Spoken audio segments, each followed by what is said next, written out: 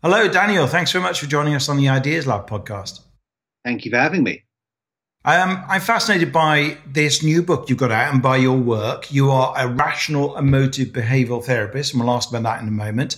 And your book, I saw uh, placed very prominently recently in W.H. Smith's. Um, it's called The Four Thoughts That Fuck You Up and How to Fix Them. So there might be a bit of swearing in this. Maybe I should have said that before I said the title of the book. Never mind. And uh, we are joined by you and your therapy dog. No. what, what's your dog's name? Lara. Lara. Hello, Lara. Uh, yeah. Yeah. So why don't we start? What is rational emotive behavioral therapy, first of all? Um, well, it's actually the first form of CBT. Um, it was developed in the 1950s by a psychotherapist called Albert Ellis. Um, but it doesn't get as much um, prominence or as much of a name check as I think it should. Um, so my MSc was in rational emotive and cognitive behavior therapy, and everyone that graduates from that course and practices REBT has a tendency to just call themselves a CBT therapist. And but as a form of CBT, it's very different from the one that you're used to or have probably had if you've accessed CBT. Um, I always like to make a difference and, and, and, and very clearly delineate that's the form of CBT that you're getting with me. So I was always clear right from the get go that I am an REBT therapist. REBT is a form of CBT. It's kind of got a lot of philosophy and it has a structure to it. And it's got a very similar approach to CBT, but it looks at things in a, in a completely different way as well. Yeah. And so, I mean, what's it, what's it about? How would you sum it up? I mean, is it, is it, you talk about the four thoughts in the book. Is that a good way to start to introduce the concept of REBT?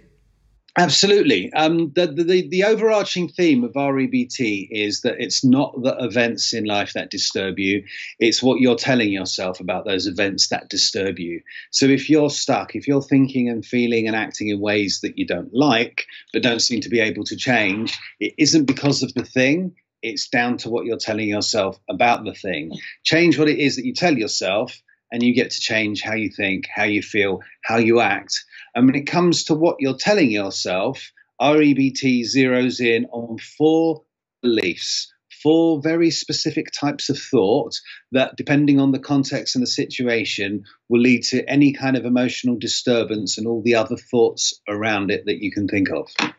Wow. So we better find out what these four thoughts are then. You want to give us a kind of summary? Yeah, so um, th- there's a model that we use. It's called the ABCDE model of psychological health. There's an activating event, there's a belief system, there's a consequence. Uh, we dispute, we challenge the beliefs to affect a rational outlook. The four beliefs that sit at B, there are four irrational beliefs, i.e., they disturb you, and then four rational beliefs, i.e., they promote psychological well being. And when it comes to the irrational, first and foremost, we have uh, what we call a dogmatic demand. And a dogmatic demand is just a rigid belief that disturbs you. And it takes the form of words like must and mustn't and should and shouldn't and got to and have to. Um, it's usually also the rigid expression of a desire for something. So it's okay to wish and want and hope for something. The problem is when you tell yourself that it absolutely must be the way that you want it. So we always look for the demand first of all. Behind any problem, there's a demand for something. Now, people who hold demands have a tendency to do a drama. We call it awfulizing, we call it catastrophizing. It's where you make something worse than it actually is. So, for instance, I could have a, a rigid demand about this interview and say, well, it absolutely must go well. Doesn't take into account the fact that I could make mistakes if I was awfulizing, I would then also tell myself that it would be awful, it would be terrible, it would be a nightmare, it would be the worst thing to happen if it didn't go well. And then people who hold demands have a tendency to exhibit um, what we call the I can't copes or low frustration tolerance. It's where you rate things as unbearable, intolerable, something that you can't hack or deal with.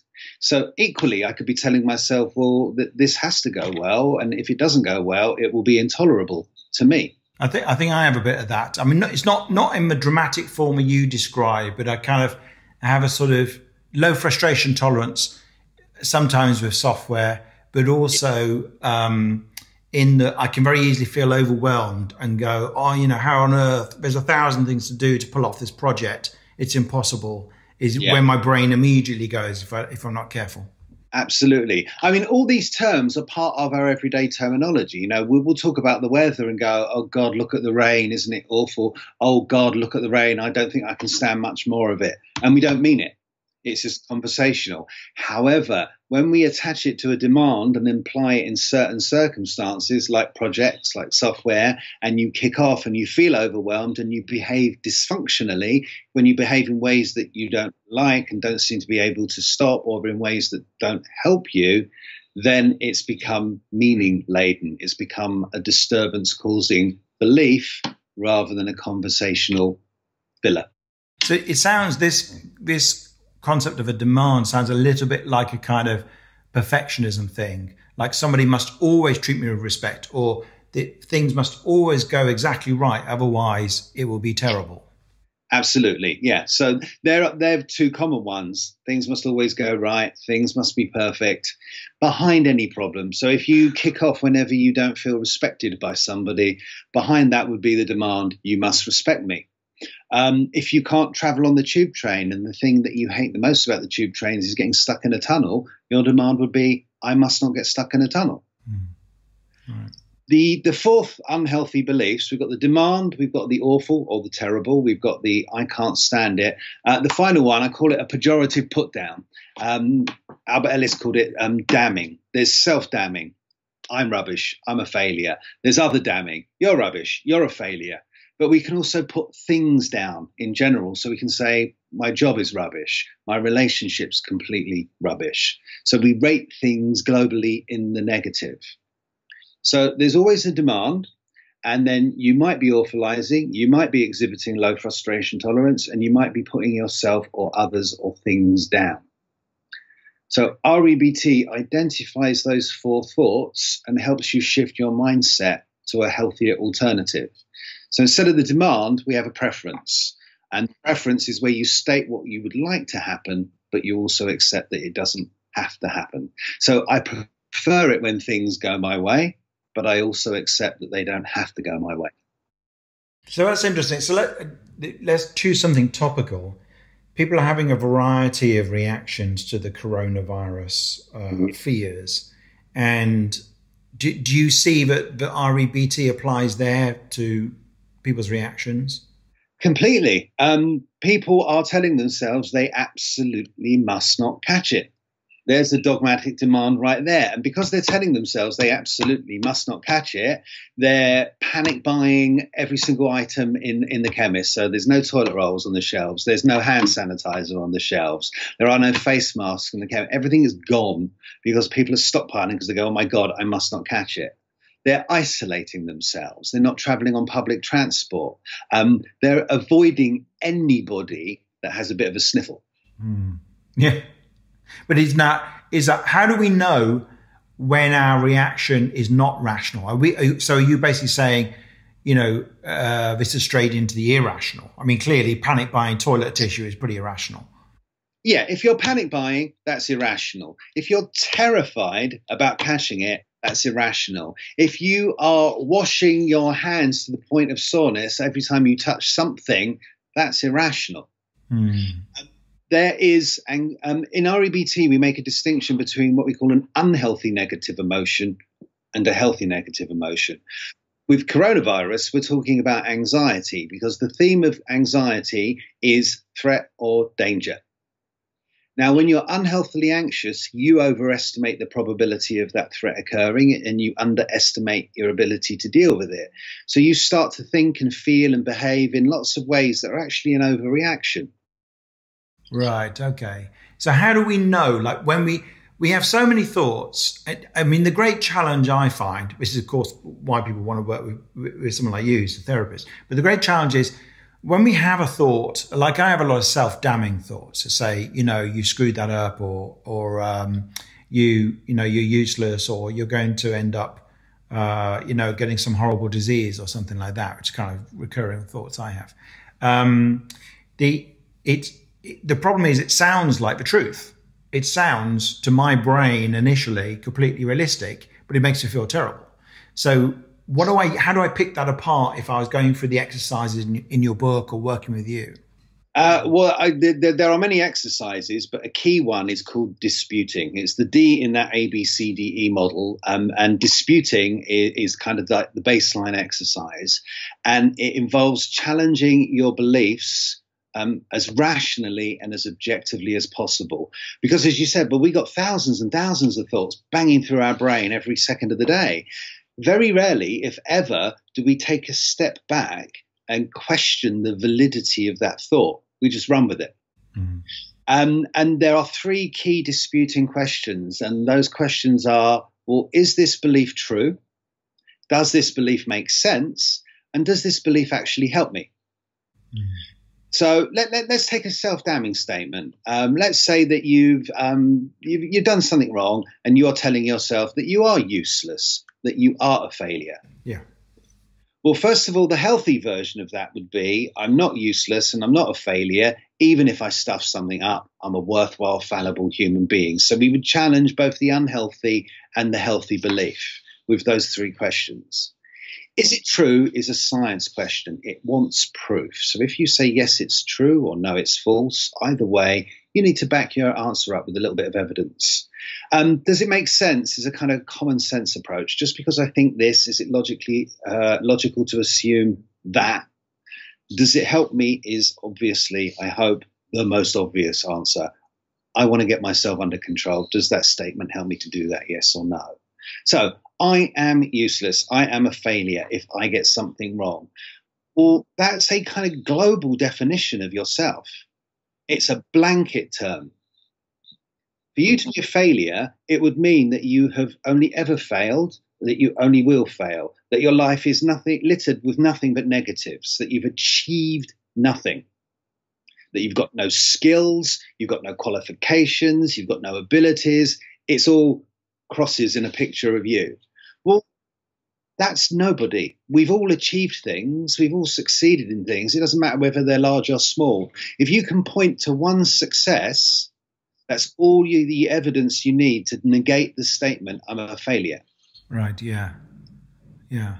Now, if I said to you, I have failed my driving test, therefore I am a failure, would you tell me I was making sense? No, I would say not.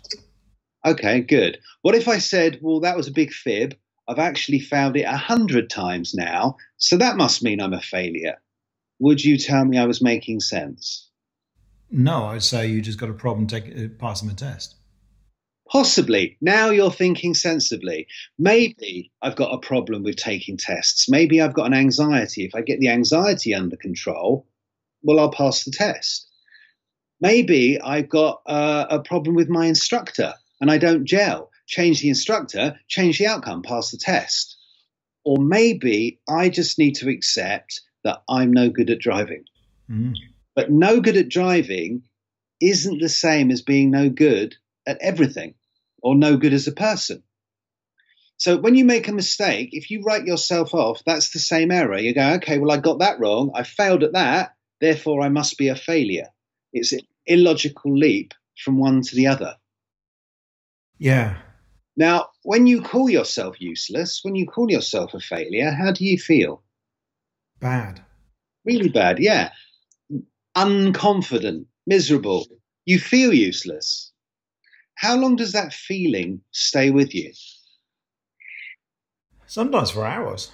Yeah, for hours. Um, in worst case scenarios, you start to cloud your judgment and you only focus on your failures and you start to build this false narrative where you get everything wrong. Mm. Now, on the other side, on the healthy side, I am not a failure. I'm not useless. Even if I get something wrong, I'm a worthwhile, fallible human being. REBT says that all human beings are worthwhile and fallible. Worth is innate. We don't have to prove it. We're worthwhile. We're all human beings. We all live. We all die. Um, none of us know really why we're here, and we're all making the best of it. And as we go through the living bit, we get it right, we get it wrong, we succeed, we fail, we have good days, we have bad days. We're all the same, we're all worthy. And we're all fallible because we all make mistakes and we've all got character flaws, physical flaws, psychological flaws. Fallible is again another leveler. Now, if you make a mistake, that doesn't mean you're a failure because it doesn't take into account of all the successes. Just remember, one success proves you're not a failure. So you're not a failure even if you make a mistake, but you are a worthwhile, fallible human being. Now, the mistake proves the fallibility, but your innate humanness proves your worth. So it's a much more accurate picture.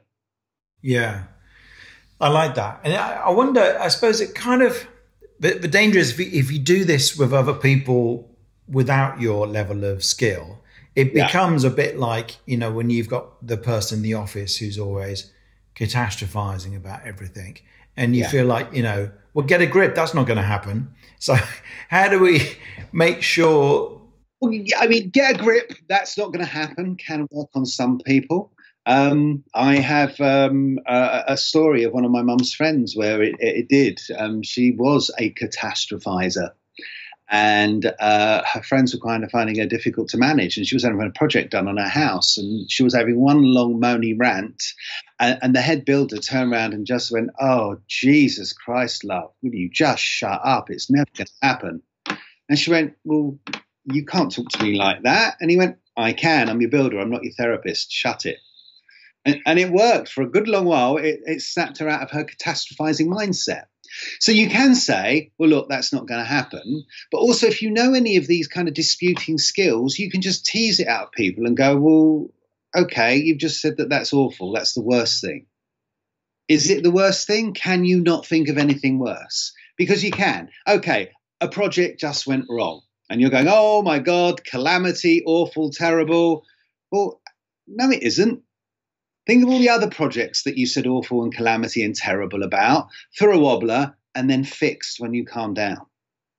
Think of all the other things in life that could be worse than the project going a bit wrong, like you, you getting a health complication or losing a loved one or dying. In the scheme of things, where would this bad thing sit on your scale of badness?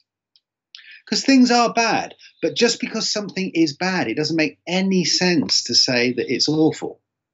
So you can just say to people, is this really the worst thing that you can think of happening? Have you had other projects go wrong before? How bad was it? What happened? How do you feel when you tell yourself it's the worst thing? It's a nightmare. Because what you will be behaving like is, a, a, you know, but you're throwing a tantrum. You're behaving like a drama queen. And it, it, sounds very simple, isn't it? But when I've experimented with these things, uh, with, with, similar things, um, I've been surprised how effective it is. And one of the ideas of rational emotive uh, behavioral therapy, isn't it that basically your thinking determines how you feel? Absolutely.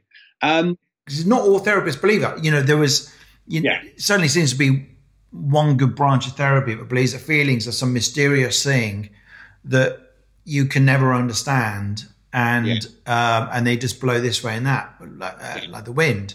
But in actual fact, that's not the opinion of REBT, is it? No. Um, it, that's based on um, the teachings of the Stoics, more importantly, Epictetus and, and Marcus Aurelius and things like that, because that opinion goes right through to history, um, prehistory rather. Epictetus said that it's not the events in life that disturb you, it's what you tell yourself about those events that disturbs you. Marcus Aurelius said that um, the happiness of your life depends upon the quality of your thoughts. Shakespeare said there is nothing good or bad, but thinking makes it so.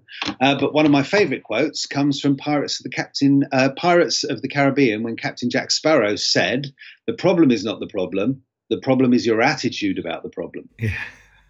That's on the front cover of your book, isn't it? Uh, it paraphrased heavily because we don't want to get by Disney. Yes, yes, indeed.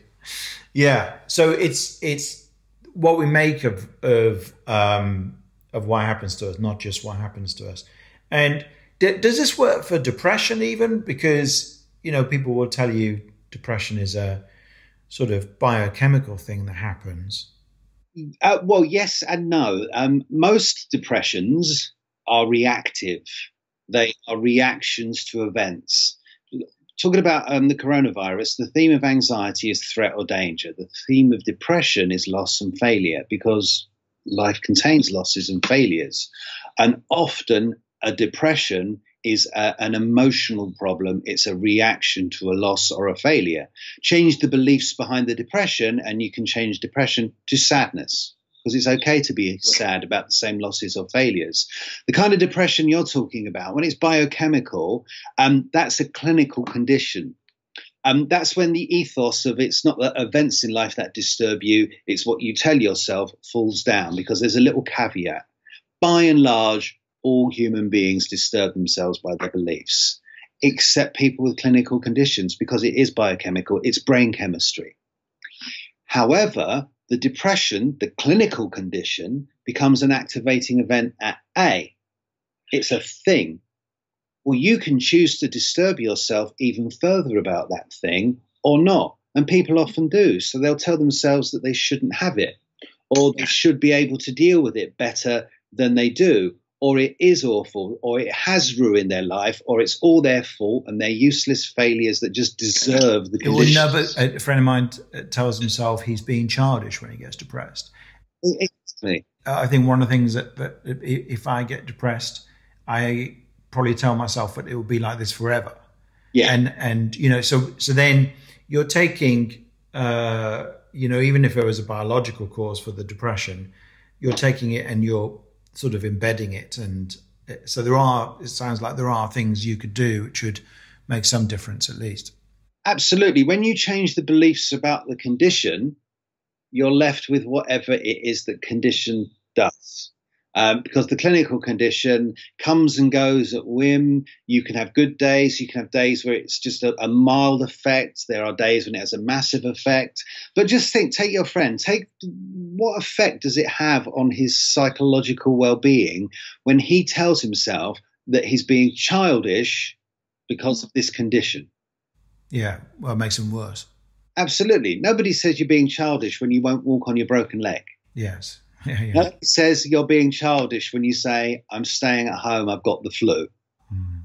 You're not being childish when you're dealing with depression. You're a worthwhile, fallible human being who is dealing with depression. Yeah. So you can deal with the condition and you can make it worse or not. Right. Yeah, that's fascinating stuff. How did you get into REBT originally? What drew you to it? Uh, actually, it started off as uh, I was drawn to hypnotherapy. I um, I was a journalist at the time. One of the magazines that I was working on was a health title, and we did this big thing on stopping smoking, and it was supposed to be a year long feature with three month follow ups. And we had people stopping with patches, gums, the Allen Carr book, acupuncture, hypnotherapy. The hypnotherapy interested me, so I had stopping smoking for hypnotherapy and become part of the feature. Loved the hypnotherapy. Oddly, at the same time, I got a new gym buddy who turned out to be um, a director at a hypnotherapy college. He noted my interest, got me on an introductory course. I thoroughly enjoyed it. Um, I studied the the, uh, the subject um, and started practicing as a hypnotherapist. And not long after I graduated from that, the, the, the guy that got me interested in it he was a, a, rational emotive behavior therapist as well as a hypnotherapist, and he had just finished writing this course that he was going to teach. And when he started telling me about REBT, I just loved it because I kind of naturally think in that way anyway because um, at the time I was working in customer publishing, and that was a very dramatic environment. And it was full of people who did awfulize, who did kick off and say that things were intolerable when they did go wrong, or did beat themselves or other people up. And there was a little hardcore group of us that were just naturally more rational. So when I he first started talking about the REBT, I went, "Well, I really like that. That that that's that's how I think. That's how all people should think. It'd be much nicer if we did. I started studying it, had an affinity for the subject. Um, after that, I did a, an MSc in the subject, and here I am, umpteen years down the line, still practicing and uh, written a book on the subject. Yeah, that's fantastic. And so, um, uh, is there anything else we should we can use from REBT that's a nice, simple thing that will that uh, uh, that can make a big difference? Um, disputing is the key thing. Um, there are many other exercises on top of that that, that they, they would take a while to explain. Um, but you can. There's one simple thing you can add to disputing, and it's just to embellish that. Does this help me? Because if it doesn't help you, you can ask yourself, well, what is it doing then? Mm. It's called a persuasive argument. So you can go, okay, if I call myself useless, if I can prove that that isn't true, if I can prove that it doesn't make sense, and if I can demonstrate that it doesn't help me, then I need to talk about what it's actually doing. Because what it's actually doing is um, sucking away your confidence. You can give examples of things you might not put yourself forward for because you've believed yourself to be useless. Um, job interviews, social occasions, you name it, you can sketch these things out. And then on the other side, on the healthy side, you go, okay, well, if if this belief is true and it does make sense and it does help me, what will it do? Well, if I held it, then I would be more confident. I would believe in myself more. I'd put myself forward for those things that I don't put myself forward for. I would accept myself when I make mistakes. And instead of beating myself mm. up, I would learn from the experience. And when you ask the, well, what do I get question, you're painting two pictures one of a life currently lived according to your unhealthy beliefs, which is going to look a bit bleak and miserable when you actually write it down in black and white. And then one of a life that could be lived according to that healthy belief, which is clearly going to look happier, healthier, and a, a, much more attractive proposition. Yeah, that's interesting. So, I mean, even if you stand, you know, a genuine chance of, you know, for instance, getting ill, or, I mean, we all stand a some chance of getting the coronavirus, um, you know, does the thought that it's going to kill me help you? Well, not really. if if the thought is let's be careful, then yes, that's a helpful thought. But yeah, I mean, when you look at the media, it's inescapable and it's huge, and, and they're making it scary. But the, the statistics look, first of all, look at the advice. The government advice, the World Health Organization advice, the medical advice is wash your hands regularly. That's it. Well, that's the advice. The advice is quite low key, and that's enough. So, what should you focus on? The big scary media or the wash your hands a bit more regularly than you do? Because of, um, I mean, yes, it's communicable but 84% of the cases are mild end of the spectrum. So, yeah. so only 16% are going to be severe. And then it's all depending on your age and whether you've got other underlying health complications. Now, if you are elderly or, and you do have underlying health complications, then yes, your precautions need to be higher than somebody else. But if you f- don't fit those two things, then you can really bring your threat level down. Washing your hands is enough. If you do catch it, the symptoms are probably going to be mild. And I think also it helps me because I do have that catastrophic thinking yeah. um, uh, about uh, about health and about other things that threaten my safety. Yeah. And it, I think, the, you know, the rational stuff helps. Like if you worst case scenario of 15 or 20 percent get hospitalized, yeah. um, that means you've got an 80% chance of not not needing any medical treatment whatsoever. And I suspect, although I'm not a virologist and I haven't studied that well, but those numbers will improve because what we're seeing in places where um, the, where they're doing the most testing, the actual fatality rates and severe illness rates are coming down because they're discovering all these people who have the disease at a much more mild level. Now, I still think we should take it really seriously. Uh, I'm not one of those people who says, "No, it's all nonsense." Um, yeah. So we should be yeah. careful because even at the spectrum, you know, one percent fatality rate, it means an awful lot of uh, elderly people and people with uh, medical conditions are are going to die if it if it affects a lot of people. So we shouldn't yeah. take it. We shouldn't, you know, pretend it's nothing. It's suddenly more serious from a normal flu. But I agree that the the media does what it normally does, particularly the papers yeah. in the UK, and they're taking uh, the plans of, uh, you know, when the government released its plans for what would happen in the worst case scenario, they took those and put them on the front page and said, you know, government plans to not even investigate murder and shut yeah. all schools. Yes, if things go to the worst stage possible. Absolutely. The, the Metro, um, the government released um, their worst case scenario was 8% of the population could be infected. That was their worst case scenario. And the government, their worst case scenario was that 80% of the population could be infected. But that was the worst case scenario possible. And uh, at least three newspapers that day turned that into their front page headline. Coronavirus will affect 80% of the. Are you like, are you kidding me? Well, it works, unfortunately, because our brains have these cognitive biases yeah. that if you say something scary, we want to check out what the scary thing. Absolutely. Well, I mean, catastrophization is one of those cognitive biases, the tendency to make things worse than they actually are. When you do that, when you have that bias, you ignore the favorable and focus purely on the unfavorable. You have blinkers on, um, and all you're inviting is more misery because you'll ignore the the, the the the the silver lining and go straight for the, the you know the darkness and the cloud but also the papers and, and, and the media have to make things negative because negative sells.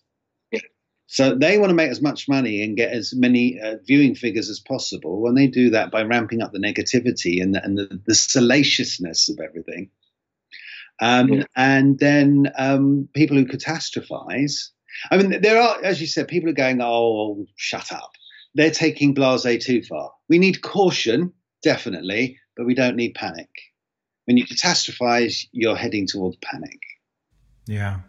No, I like it. So I, am um, a big fan of this stuff. Like I say, when I I used to be one of those people who believe it, that that you couldn't alter your feelings so easily, and and it was an early book, which I think was an REBT book called Feeling Good, which is it's decades old now, um, and it has these really simple exercises, and I realized what uh, what an effect it has. I thought this won't work, and did the a few just a few of the exercises, and went, oh, I feel like significantly better about everything. Yes. And so I'm a big believer in this stuff. And in your book, you take people through the exercises, uh, don't you? To yeah, there's um, REBT is considered to be both a, a system of psychotherapy, but also a school of thought. So REBT to invites you to work on specific problems, but to also look at life in a whole new way. And so the, the first two parts of the book just focus on those four unhealthy beliefs and the four healthy equivalents. And then part three is just like a step by step, six week process to help you pick a particular problem, whether it's an anxiety issue or an anger management problem or a, a reactive depression issue, and then just work through it systematically until you gain control, and start living life according to those healthy beliefs so that the unhealthy negative emotion becomes a healthy negative one. Mm, I like the sound of that. That sounds great. I'll make a very good online course, by the way, Daniel, if you ever thought of doing that. I have, funny enough. Step by step, plan by plan. Okay, well, thanks very much. And if people want to find the book, it's on Amazon and it's in um, all good bookshops. As I say, I saw it in, on prominent display in, in Double W.H. Smith's, The Four Thoughts That Fuck You Up. And um, and and if you want to find out about you and the therapy that you do, your website is remind me. Uh, it's just my name, danielfryer.com, and Fryer is F R Y E R. Great. You'll find out a bit more about the dog on there as well. Oh yeah, the dog stars, does she? Brilliant. She does. She's a she's a tool and a lure. I like it. Okay, well, thanks very much, Daniel. I appreciate that. You're very welcome. Thank you for having me.